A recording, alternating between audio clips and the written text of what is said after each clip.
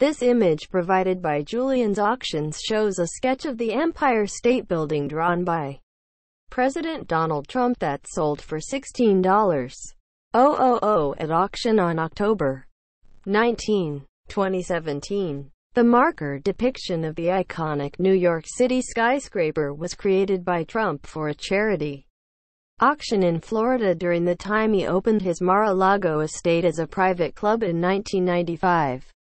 Julien's Auctions via AP. Los Angeles. AP.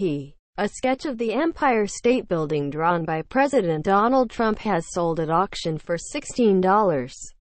Oh oh. Julien's Auction says the 12-inch by 9-inch black marker depiction of the iconic New York City skyscraper was created by Trump for a charity auction in Florida during the time he opened his Mar-a-Lago estate as a private club in 1995. Julien says the piece signed by Trump went for less than $100 the first time it was sold.